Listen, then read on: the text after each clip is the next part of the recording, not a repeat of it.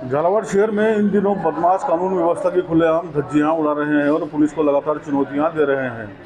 झालावाड़ शहर में फ़िलहाल एक मामला वापस ऐसा आया है जो कानून व्यवस्था की पोल खोल रहा है और बता रहा है कि बदमाशों के मन से पुलिस का खौफ निकल चुका है।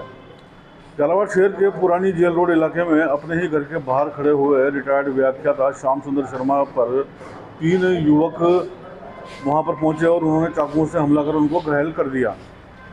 पुलिस मौके पर पहुँची है, झालावाड़ अस्पताल के इमरजेंसी में फ़िलहाल रिटायर्ड व्याख्याता का उपचार किया जा रहा है। रिटायर्ड व्याख्याता के पड़ोसियों ने बताया कि श्याम सुंदर शर्मा और उनकी पत्नी मकान में अकेले रहते हैं, जहाँ पर वह अपने घर के बाहर खड़े हुए थे। ऐसे में तीन बदमाश आए और उन्होंने उन पर चाकुओं से हमला कर दिया। श्याम सुंदर शर्मा के शरीर पर चाकू के तीन घाव लगे हैं, जिनको झालावाड़ के सर्दी अस्पताल में दाखिल किया गया है। फ़िलहाल उनका उपचार किया जा रहा है तथा पुलिस शीघ्र ही आरोपियों की पहचान कर उनको पकड़ने का दावा भी कर रही है।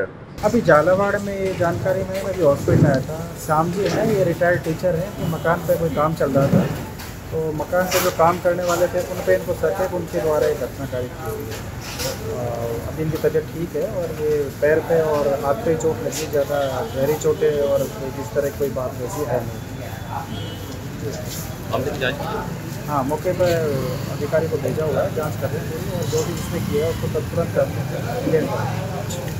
झालावाड़ के शारजी अस्पताल से कैमरामैन अजय शर्मा के साथ भारत एक्सप्रेस के लिए रियाज काम।